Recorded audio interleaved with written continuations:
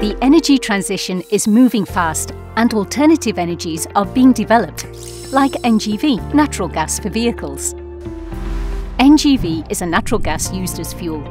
It is an immediate alternative to conventional fuels for all fleet vehicles.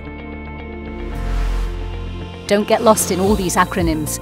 NGV includes CNG, compressed natural gas, and LNG, liquefied natural gas. What is natural gas composed of?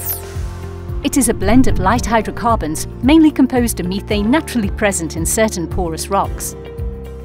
Natural gas is used as an energy source for various purposes, residential, industrial, or power generation, and its use as a fuel is increasing.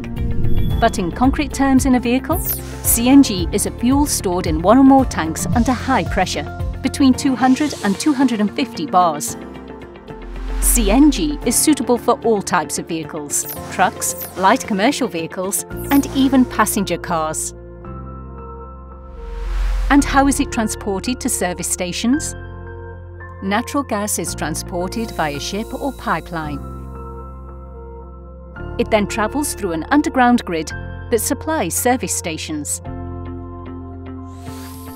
Once at the station, the gas is compressed, then stored CNG is then available for filling.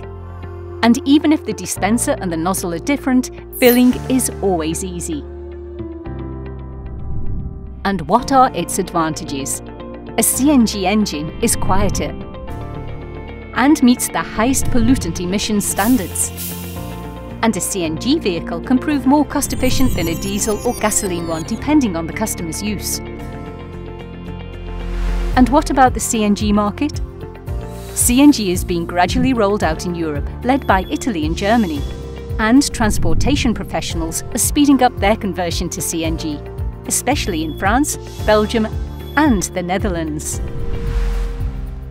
With the acquisition of Pitpoint, the third largest European operator of natural gas, our target 350 NGV stations in Europe by 2022 to become the leading distributor of NGV in Europe.